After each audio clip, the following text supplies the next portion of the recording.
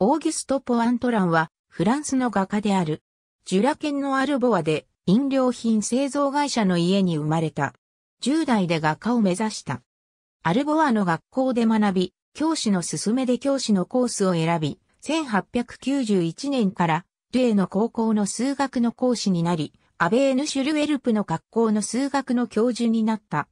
1865年にパリを訪れ、フランス芸術家協会の展覧会を観覧した。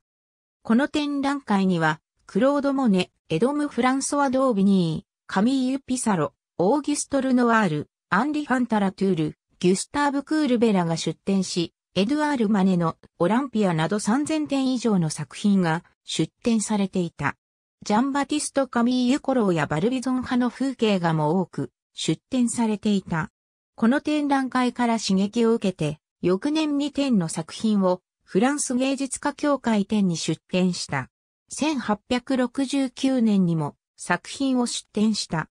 1874年から約20年間にわたって数学の教授とジュラ県などの風景を描く画家の生活を両立させ、毎年展覧会に出展するようになった。独自のスタイルの風景画が評価されるようになり、学者として尊敬されるようになっていたルイ・パスツールの推薦で、作品は政府に買い上げられ、1876年にはパリの名門校、リセ、ルイコールルイコールグランの教授に任命され、美術活動がしやすいパリで暮らすことができるようになった。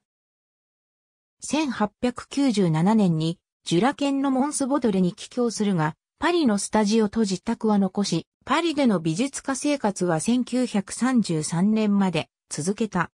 60歳になった1899年に、回顧展がパリの画廊で開かれた。油絵だけでなく、パステル画や木炭画も描いた。1924年にレジオンドヌール勲章を受勲した。ありがとうございます。